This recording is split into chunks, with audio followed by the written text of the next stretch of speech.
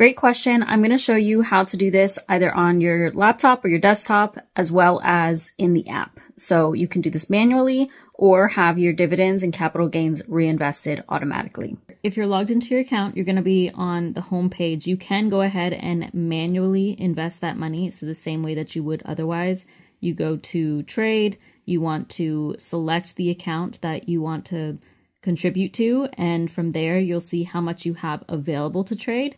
And whatever amount that is, then that's what you're going to purchase, and it will go back down to zero. Otherwise, you can have these dividends and capital gains reinvest automatically. If you're on the computer, you're going to log into your account, you're brought to your main account page. Go to this accounts and trade tab and then you want to go down to account features. And then from here, it might look a little bit different on your screen, but find where it says brokerage and trading, dividends and capital gains, and you want to select manage that's next to that.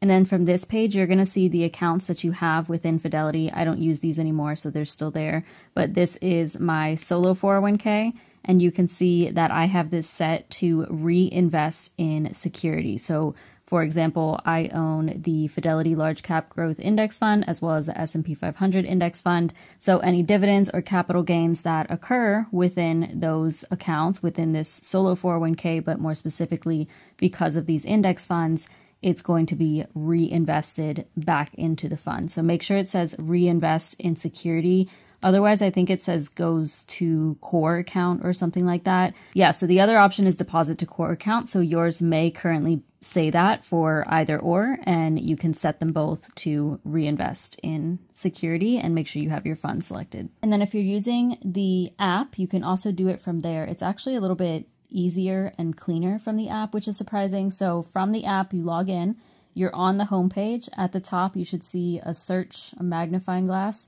Click that you're going to want to search reinvest dividends or something similar to that.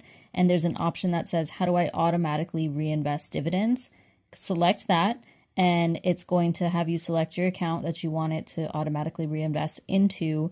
And it should tell you how it currently is set as. And then from here, you can confirm if you want to change. So mine's already set to reinvest in security, so it says that. But otherwise, yours may say that it's going to your core account.